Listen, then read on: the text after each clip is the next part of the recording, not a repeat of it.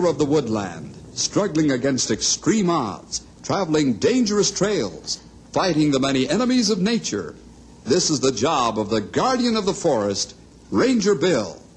Pouring rain, freezing cold, blistering heat, snow, floods, bears, rattlesnakes, mountain lions. Yes, all this in exchange for the satisfaction and pride of a job well done.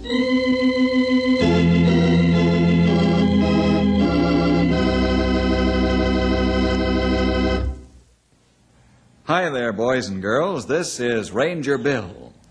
The story I'm going to tell you today has in it some very, very good advice for you and for mom and dad. That is, if you ever intend to visit any of our wonderful national parks out here in the West, especially ones where the bears come down from the hills and feed in plain sight of the tourists. Black bears, brown bears, cinnamon colored bears, and uh, once in a while, a grizzly. Bears that look all cuddly and friendly and harmless, but bears that are still wild animals and that can. But uh, I am getting ahead of my story. Listen now to The Mystery of Bear Valley. I have the whole thing figured out, and it cannot fail. Just another triumph of modern science. Dad, I don't like it. I just don't like it. It's a crazy scheme to begin with, and besides, I certainly think it must be illegal. Oh, never mind that. The important thing is that the whole scientific world will look up to me. I will be famous. But capturing wild bears, just because our name is Von Bruin, doesn't mean we have to go around capturing bears, does it? Oh, I have tried the thing on rabbits and mice. Many scientists have. Now the important thing to do is to work the experiment with a really dangerous large animal. And those bears in Bear Valley National Park make ideal subjects in every way. Well, they do come down and hang around the tourist automobile. Exactly. They come within two or three yards or less. I can't miss. Let me see that revolver again. Yeah, here it is. Handle it carefully. It's loaded. Tiny little thing. Big enough. It's a 22 caliber revolver. Smallest caliber there is. But I've remodeled it so it doesn't shoot cartridges. Instead, it shoots these darts. Just a minute charge of black powder is enough to send one 50 yards or more. The darts look like thin pencils sharpened at one end. Hmm, that's about what they are. I put a dart in the revolver, fire it at an animal, a bear, for instance. The dart hits him, and a small amount of the tranquilizer in the dart goes to work immediately. The animal, the bear, calms down, goes to sleep for a while, and wakes up in ten minutes or so, unarmed. ah, it will revolutionize the rules of natural history. And I, Theodore von Bruin, and you, Theodore von Bruin Jr., will be the men who have done it.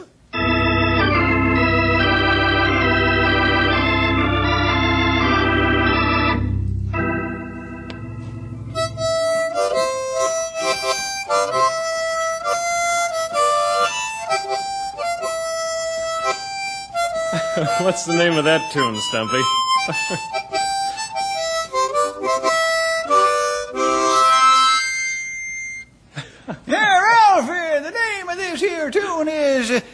I sure wish something exciting would happen around these parts on account of nothing much ever does, and I'm getting sick and tired of it melody. What's the word melody doing in there? Ah, because it's a song title, naturally. Oh, yeah. I, I make up them titles as I go along, same as I do the tunes. Uh, yeah, they both just come natural to me. Nothing to it. Why, uh, uh, hello, Bill. Hello, Henry. Uh, what's up? Anything new? Hi. Hello, Ralph. Stumpy. I, Oh, looks like a quiet summer, all right. Any reports come in, Ralph? oh, two or three. All routine? Yeah. Well, pass 'em around. We'll take turns reading 'em. Give a feller something to do so's he don't feel so useless. Is that okay, Bill? Why, sure. Now, here's mine. Uh, uh, this here one's from the head fire warden. He says the forest is green, uh, fire hazards low, not many campers, all serene. Yeah, mine's from the Fish and Waters man. The fishing is very good, Uh, three men caught bass out of season. They paid their fine, promised not to do it again. Catfish biting very good. There are plenty of fishermen and plenty of fish. Mine's from the roads and trails people. Because all the roads are open and good condition. No detours, no washouts. Trails are good, no mud. Overgrown sections are cleared out. Tourist population is unusually heavy, but no accidents or mishaps of any sort. Why? Why, there isn't anything happening anywhere. No news is good news. Well, here's the last report. And this one is from the Bear Man. Sounds like an Indian tribe. They're the special crew that, well, they take the unused food from the hotels to the spots where they dump it, and the bears come down from the hills and, and eat it where the tourists in their cars can see them, aren't they? what a sentence. yes, they're the men who distribute the food to certain places where the wild bears can come and eat in plain view of the tourists watching from their cars. And uh, that's a worry to me. Well, why? Well, the bears look harmless and playful, and the tourists, in spite of what we tell them, stop their cars, which is bad. Because then some of the bears come right up to the autos and beg for food, and then some of the people are foolish enough to feed the bears, even by hand. Makes me shudder to think of it. Well, some even get out of their cars and walk right up to the bears. Not if we can see them. There are too few of us to watch all the people all the time. Well, people should stay in their cars, keep the cars moving slowly, keep their windows shut, and not feed the bears. Hey, that gives me the idea for a song. And here she be. The bare facts is we can barely bear with the bears in Old Bear Valley.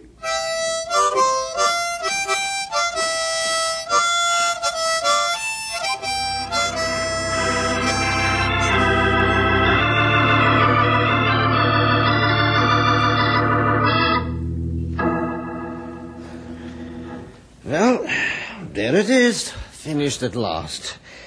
Hard two weeks' work, but a fine job. An innocent looking ton and a half truck looks just like any other delivery truck you ever saw. I hope it fools the ranger and his men. We have to go to their office and report in before we can drive through Bear Valley. It will fool him all right. That sign you painted on each side will do the trick. Van Bruin and Son, commercial photographers. Well, we do have a camera. yeah, which we can't use. Come around to the back here and let's take a final check. Now, plain, ordinary door with the padlock. We unlock it. Open the door. And then we see that this is not an ordinary truck. The whole inside lined with steel, door and all. A barred ventilator window up in front of the wall between the driver's seat and the cage body. On the cable and winch set in under your seat, out of sight. We wait for the bear to come over to the car We fire the tranquilizer dart at him, wait for him to go to sleep. Only takes a minute or so. then we hop out, open the back doors, drop the ramp you built, and Mhm, and pull the cable out through the cage body. start the winch and haul Mr. Bear up into the truck in about one minute flat. and remove the cable, lift up the ramp, shut and lock the doors. And the whole thing shouldn't take more than four or five minutes. And when the bear wakes up, he's safely inside a steel cage. And we will have made scientific history. Ted, we are ready. Let's go over to the Rangers.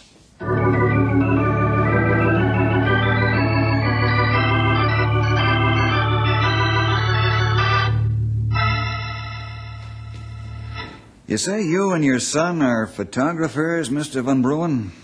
Yeah, yeah, that's right, Mr. Ranger. Ah, yes, I see your sign on your trunk out there. Uh, are you nature photographers? Well, uh, uh, yeah, yeah, yeah, we're nature photographers.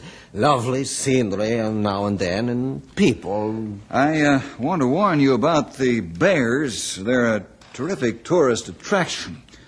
Trouble is, tourists insist on treating the bears as though they were just toys. Memorize and obey the park rules and regulations, Mr. Van Bruin, and you'll be all right. And don't get out of your car to photograph any bear. This is a definite rule. Oh, well, I wouldn't think of photographing a bear, Mr. Ranger. Good. Uh, you don't have any firearms, do you? Oh, no, sir. Uh, nothing that shoots. Uh, bullets. Mm, very well. Uh, have a good time while you're here, and I hope you enjoy your trip to Bear Valley. There are your registration slips. Oh, thank you. And uh, remember the old Indian saying, don't bother the bears and they won't bother you.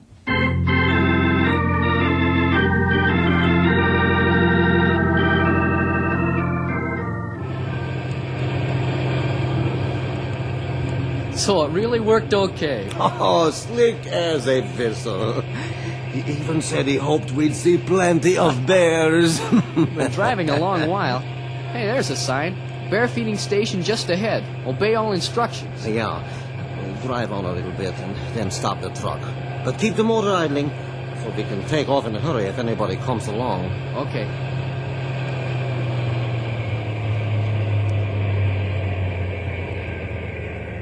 I don't see any bears. Well, they show up when they see a car.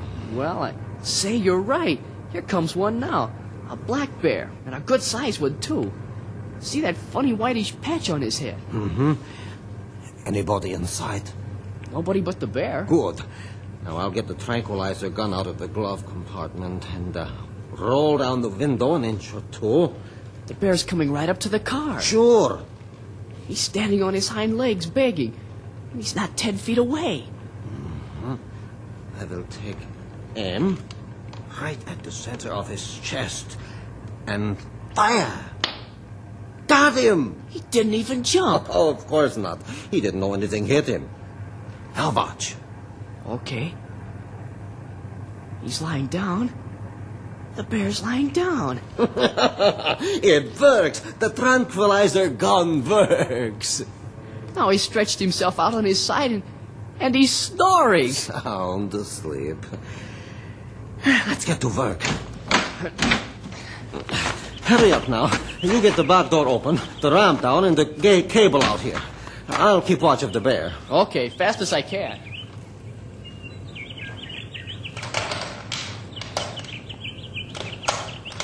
Everything okay, Dad? Uh, Sure, but hurry up. Working as fast as I can. Here's the cable. Oh, good. Help me get it around the bear. Oh, yeah. Oh, okay, a little bit. Yeah. All ready to go. Uh, go start the winch. Sure, get ready. Perfect. And there goes the bear. Sliding into the back of our truck, just as smooth as glass.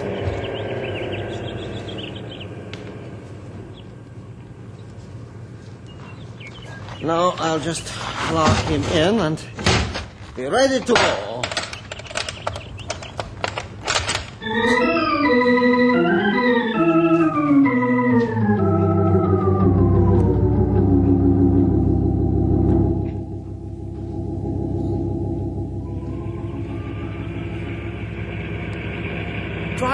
Slow, Stumpy. Real slow. That's the way I always drive. Well, slower then. Slower than slow, I mean. Right. No, he's not there, Stumpy. He's just plain not there. You sure? I'm positive.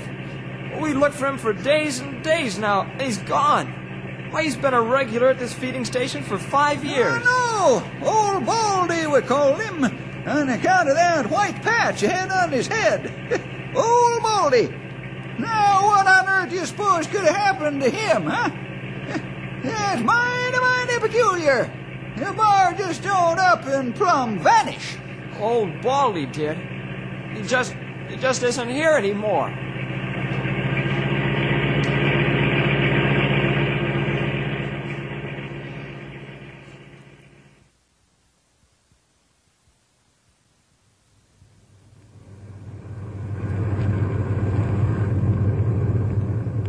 I can't see any sense in it, Dad. No sense in it at all. Oh, I sold that white-headed bear to the roadside zoo man, did I not? Yeah, and I hated to see him shift into that miserable cage. Listen, Dad, we certainly don't need the money, and we don't need to catch any more bears. Scientific experimentation, son. Scientific experimentation. We got ourselves one bear successfully. Now I want to get the whole family. But, Dad. And there they are, coming out of that underbrush right now. I told you if we came back to this feeding station, we'd find them. Here they come. Father, mother, and two tiny cubs. Yeah. I've just tranquilized the two adult bears. The babies we can just pick up and bundle into the truck. But I still don't see why we... Here they come. Now, to take aim and. uh, Got him! he doesn't even know I hit him. Now, aim again. There! I Got the female. Now, all we have to do is wait. You can't miss it ten feet. And remember to pick up the used darts. You forgot to last time. Did we leave it there? No, I picked it up and stuck it in my pocket while you were getting the winch ready.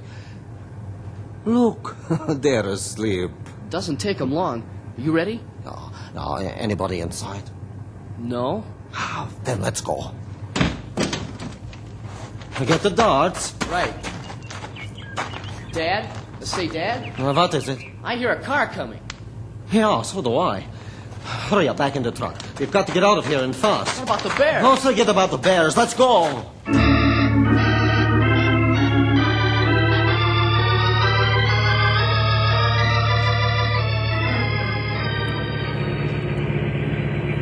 Two men jumped in the truck and drove away fast. Yeah, same old story. Probably stopped to feed the bears or get a better look at them or something. Well, maybe they stopped to look at the bears sleeping by the side of the road. Oh, but bears don't sleep on the side of the road. They have more sense than Those that. bears are sleeping. Oh, what bears? Those bears. Well, so they are.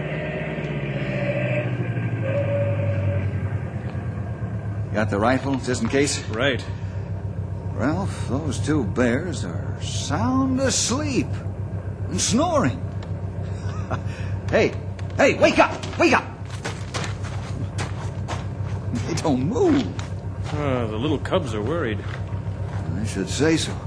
I am too. This is a strange thing to have happen. Hey, hey, little brother, wake up, wake up! Little brother. Yeah, Grey Wolf tells me that the old Indians thought bears were their little brothers. Oh. Well, maybe they were right. Because it looks like the little brothers heard you and are waking up.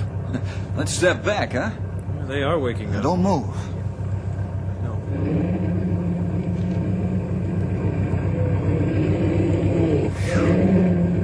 That was a close one. They'd wake up mad.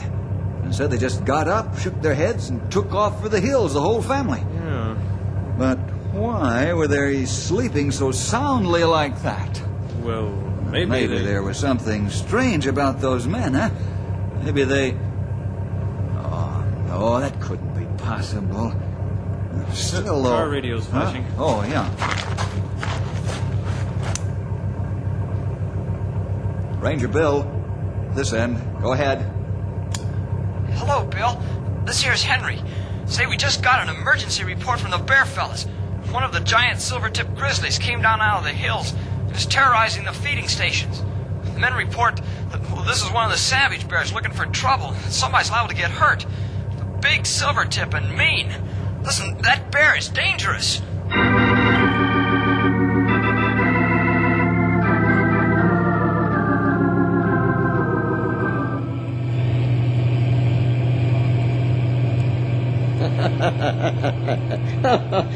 oh, we certainly outwitted that forest ranger. Was that the ranger? sure.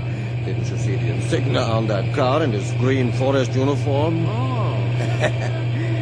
I'll bet they'll have a fine time trying to figure out just why those bears decided to snooze by the roadside. Dad, aren't you gonna quit now? oh, I suppose so. You might just as well.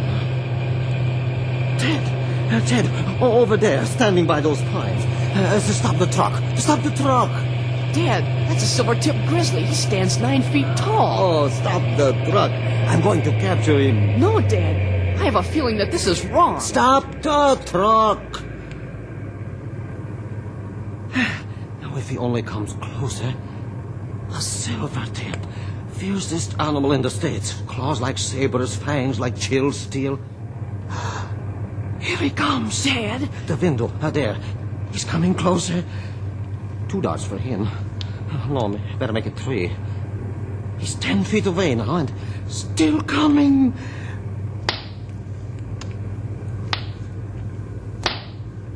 Hadn't I better start the truck? No, no, no, no, no, wait.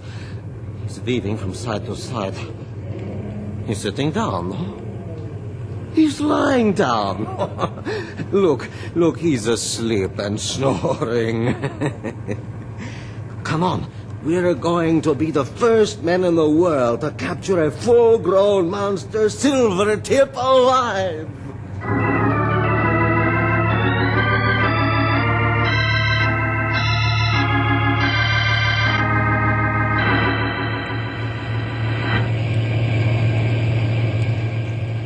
I don't like it, Dad. Oh, we got the bear, didn't we? He's asleep in the back, is he not? Yes, but we didn't build that cage body for anything as big as that grizzly.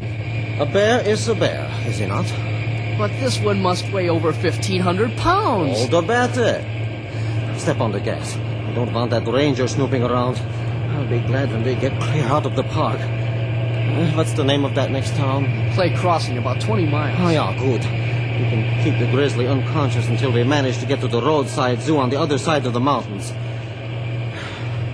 I can give him a shot from the tranquilizer gun whenever he stirs, and.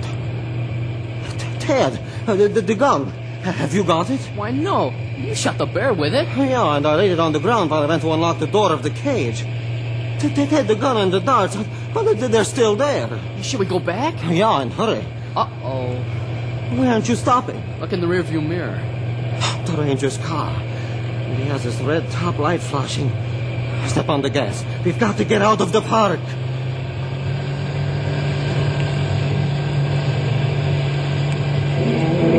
Dad, what's that? The grizzly, he's awake and mad.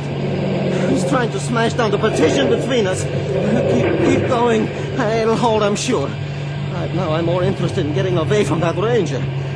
Step on the gas. Faster, faster. Put your foot clear to the floor.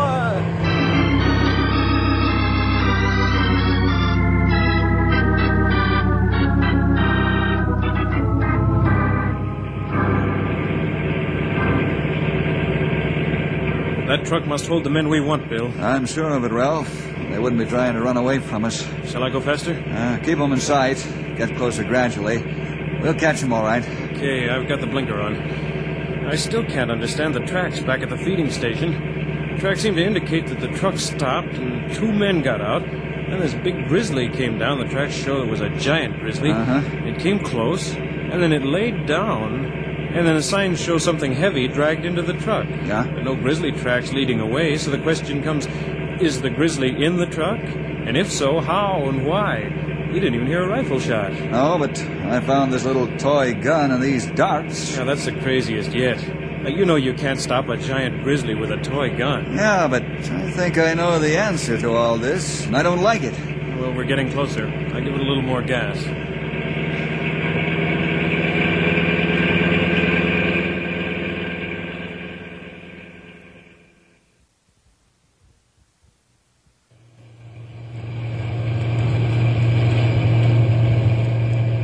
Faster. I'm going as fast as the truck will go. It'll go faster anyway. Eh?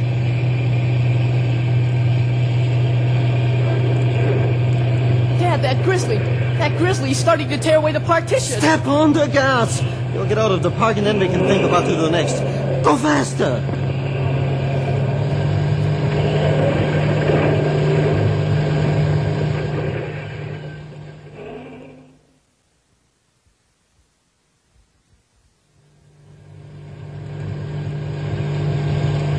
Sign of the ranger's car? No. Maybe leave out distance him or he's given up the chase. Don't slow down, though. All right, there's the town up ahead. Oh, don't let that stop you. Keep going. But it's Saturday afternoon. The town will be full of people. Never mind, just keep going. Well, too late. We're in town anyway. Ah, that car coming from the side street. Get around it. Get around I around can't. I'm going too fast. I'm going too fast, I tell you.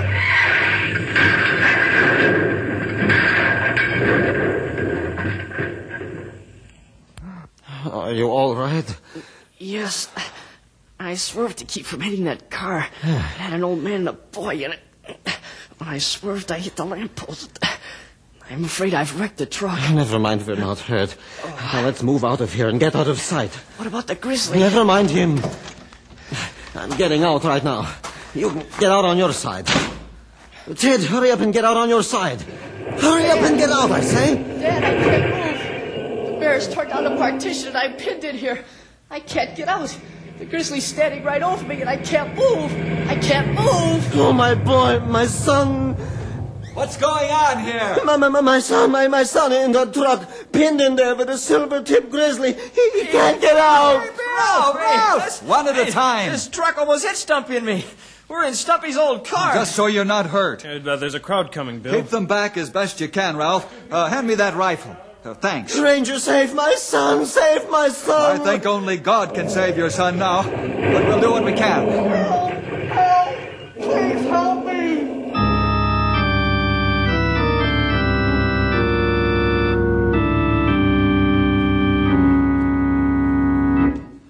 Now, Von Bruin, when the doors swing open, the bear will probably rush out, and I'll try to stop him with a rifle shot. I can only fire once because I, I won't dare fire toward those people. But if you miss uh, and the bear grabs It's you... a chance I have to take. I'm a forest ranger, remember? It's my duty to try and save your boy's life. Thank God you are a brave man. Now, I want it quiet around here. Henry, all clear? All clear. Ralph? Clear. Uh, Stumpy, all clear over there by the bank? Nobody here but me. Nobody Keep the townspeople back. Get ready, Von Bruin. Yeah, I'm ready. I'm going to aim this rifle right at those doors. Now.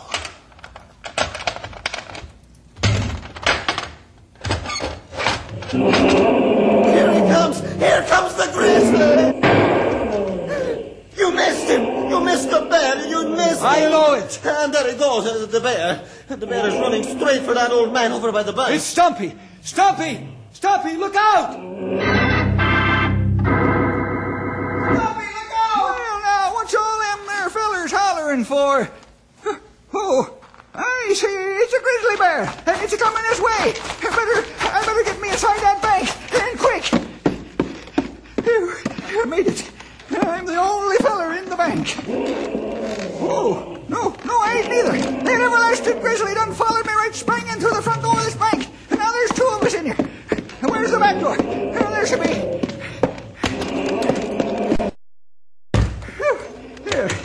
Now I've locked the back door. Now I gotta get around to the front.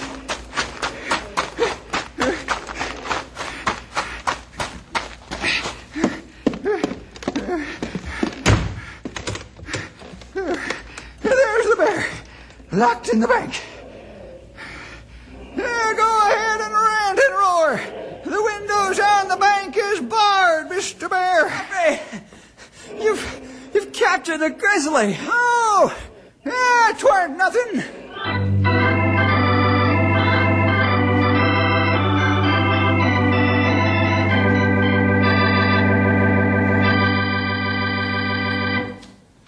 And so Stumpy captured the grizzly all by himself. After that, it was easy for us to get the bear into a carrying cage, and we took him back to the Rockies and let him go. The young man, Ted, didn't have such an easy time. Because of his father's wicked foolishness, he'll be a long while in the hospital. Oh, he'll get better, and he prays, thanking God for saving his life. That bear almost finished him, though, so no wonder he's thankful. Well, see you next week for another exciting adventure with Ranger